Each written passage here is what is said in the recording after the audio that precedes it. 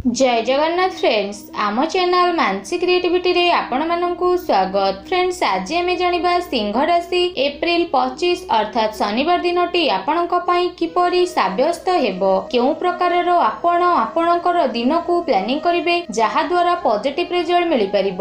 ଏହା ସହ ଭିଡିଓ ଶେଷରେ ଶୁଭ ରଙ୍ଗ ଓ ଶୁଭ ଅଙ୍କ ବିଷୟରେ ମଧ୍ୟ ଜାଣିବା। ତା ସହିତ କିଛି ସଠିକ ଉପାୟ ବିଷୟରେ ମଧ୍ୟ ଜାଣିବା ଯାହା ଆପଣଙ୍କର ଦିନକୁ ଆହୁରି ଅଧିକ ଶୁଭ ଓ ମଙ୍ଗଳମୟ କରିଦେବ। ଏହା ପୂର୍ବରୁ କହିନିଏ ଭିଡିଓକୁ ଗୋଟେ ଲାଇକ୍ କରିନେବା ସହ ଆମ ଚ୍ୟାନେଲକୁ ସବସ୍କ୍ରାଇବ କରିନିଅନ୍ତୁ ଓ ପାଖରେ ଆସୁଥିବା ବେଲ୍ ଆଇକନକୁ ବି କ୍ଲିକ୍ କରିଦିଅନ୍ତୁ ତେବେ ଫ୍ରେଣ୍ଡସ୍ ପ୍ରଥମେ ଆସନ୍ତୁ ଆରମ୍ଭ କରିବା ପଞ୍ଚାଙ୍ଗରୁ। ଆଜି ହେଉଛି ଏପ୍ରିଲ ପଚିଶ ତାରିଖ ଶନିବାର ଦୁଇ ହଜାର କୋଡ଼ିଏ ମସିହା ବୈଶାଖ ମାସ ଶୁକ୍ଳ ପକ୍ଷ ମେଷ ତେର ଦିନ ଦ୍ୱିତୀୟା ତିଥି କୃତିକା ନକ୍ଷତ୍ର ବୃଷଚନ୍ଦ୍ର ନିଶାନ୍ତ ଷାଠିଏ ଦଣ୍ଡ ଅହରାତ୍ର ଏବେ ଆସନ୍ତୁ ଜାଣିନେବା ଚନ୍ଦ୍ରମାଙ୍କର ସ୍ଥିତି ବିଷୟରେ।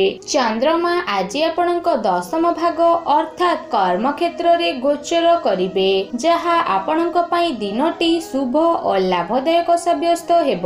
ଚାକିରି ଅପେକ୍ଷା ବ୍ୟାପାରରେ ଅଧିକ ସଫଳତା ପ୍ରାପ୍ତ କରିବେ। ବ୍ୟାପାରୀମାନେ ନିଜର ଯୋଜନା ମୁତାବକ କାର୍ଯ୍ୟକାରୀ ଲାଭାନ୍ୱିତ ହେବେ। ପୁଞ୍ଜିନିବେଶ ପାଇଁ ଉତ୍ତମ ଦିନ ଅଟେ। ସ୍ୱଳ୍ପ ପୁଞ୍ଜିନିବେଶ କରି ମଧ୍ୟ ଅଧିକରୁ ଅଧିକ ଲାଭ ପ୍ରାପ୍ତ କରିବେ। ଯଦି ବ୍ୟାପାର କ୍ଷେତ୍ରରେ କିଛି ପରିବର୍ତ୍ତନ କରିବା ପାଇଁ ଚାହୁଁଥାନ୍ତି କିମ୍ବା ନୂତନ ବ୍ୟାପାର ଆରମ୍ଭ କରିବା ପାଇଁ ଚାହୁଁଥାନ୍ତି ତେବେ ଆଜିର ଦିନ ଆପଣଙ୍କ ପାଇଁ ଉତ୍ତମ ସାବ୍ୟସ୍ତ ହେବ। ସୁଖ ସମ୍ପତ୍ତି ପ୍ରାପ୍ତ ହେବା ସହ ଅନେକ ଦିନରୁ ଅଟକି ରହିଥିବା ବକେୟା ଟଙ୍କା ପୁନଶ୍ଚ ପ୍ରାପ୍ତ ହେବ। କିନ୍ତୁ ଆଜି ଟଙ୍କା କାହାକୁ ଉଧାରରେ ଦିଅନ୍ତୁ ନାହିଁ। ନଚେତ୍ ପଛରେ ପଶ୍ଚାତାପ କରିବାକୁ ପଡ଼ିବ। ପାରିବାରିକ ସଦସ୍ୟଙ୍କ ସହ ଉତ୍ତମ ସମ୍ପର୍କ ଆଜି ଆପଣ ବ୍ୟତୀତ କରିବେ। ଏହା ସହ ପାରିବାରିକ ସୁଖ ଶାନ୍ତିରେ ବୃଦ୍ଧି ହେବା ସହ ମିତ୍ର କିମ୍ବା ବନ୍ଧୁବାନ୍ଧବଙ୍କ ସହ ମଧୁର ସମ୍ପର୍କ ବଜାୟ ରହିବ। ସମସ୍ତ କଳି ଝଗଡ଼ାର ମଧ୍ୟ ଆଜି ଅନ୍ତ ଘଟିବ।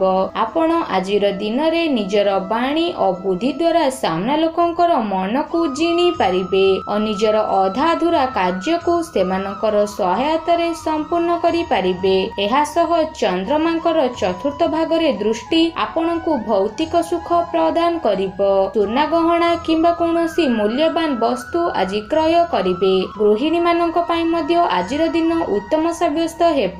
ସନ୍ତାନ ସପତିଙ୍କ ତରଫରୁ ସୁଖବର ମଧ୍ୟ ହସ୍ତଗତ ହେବ। କେବଳ ବିଦ୍ୟାର୍ଥୀ ମାନଙ୍କ ପାଇଁ ଦିନଟି ମଧ୍ୟମ ଫଳଦାୟୀ ସାବ୍ୟସ୍ତ ହେବ। ନିଜର ପରିଶ୍ରମ ଅନୁସାରେ ଫଳ ପ୍ରାପ୍ତି କରିବେ। ଦାମ୍ପତ୍ୟ ସୁଖରେ ବୃଦ୍ଧି ହେବା ସହ ଲଭ୍ ରିଲେସନସିପ ଲୋକଙ୍କ ପାଇଁ ମଧ୍ୟ ଦିନଟି ବେଷ୍ଟ ସାବ୍ୟସ୍ତ ହେବ। ଏବେ ଆସନ୍ତୁ ଜାଣିନେବା ଶୁଭ ରଙ୍ଗ ଓ ଶୁଭ ଅଙ୍କ ବିଷୟରେ। ଆଜି ଆପଣଙ୍କ ପାଇଁ ଶୁଭ ରଙ୍ଗ ନୀଳ ଏବଂ ଶୁଭ ଅଙ୍କ ତିନି ରହିବ। ଏବେ ଆସନ୍ତୁ ଜାଣିନେବା ସେହି ସଠିକ ଉପାୟ ବିଷୟରେ ଯାହାକୁ ପାଳନ କରି ଆପଣ ଆପଣଙ୍କର ଦିନକୁ ଆହୁରି ଅଧିକ ଶୁଭ ଓ ମଙ୍ଗଳମୟ କରିପାରିବେ। ସେଥିପାଇଁ ଆଜି ଭଗବାନ ଶନିଦେବଙ୍କର ପୂଜା ଆରାଧନା କରନ୍ତୁ ଓ ଘରର ଈଶାନ କୋଣରେ ଘିଅର ଦୀପ ଅଥବା ତେଲର ଦୀପଟିଏ ପ୍ରଜ୍ୱଳନ କରନ୍ତୁ। ଯାହା ଆପଣଙ୍କର ସମସ୍ତ ନକାରାତ୍ମକ ଶକ୍ତିକୁ ବିନାଶ କରିବ ଓ ଶୁଭ ଫଳ ପ୍ରଦାନ କରିବ। ତ ଫ୍ରେଣ୍ଡସ୍ ଏ ଥିଲା ସିଂହ ରାଶି ଏପ୍ରିଲ ପଚିଶ ର ସମ୍ପୂର୍ଣ୍ଣ ରାଶି ଫଳ ବିଷୟରେ। ଯଦି ଫ୍ରେଣ୍ଡସ୍ ଆମର ଏହି ଭିଡିଓଟି ଆପଣମାନଙ୍କୁ ଭଲ ଲାଗିଥାଏ ଭିଡିଓକୁ ଲାଇକ୍ ସେୟାର କମେଣ୍ଟ କରନ୍ତୁ। ଏହା ସହ ଆମ ଚ୍ୟାନେଲକୁ ସବସ୍କ୍ରାଇବ କରିନିଅନ୍ତୁ ଓ ପାଖରେ ଆସୁଥିବା ବେଲ୍ ଆଇକନକୁ ବି କ୍ଲିକ୍ କରିଦିଅନ୍ତୁ। ଆପଣଙ୍କ ଦିନ ଶୁଭମୟ ହେଉ।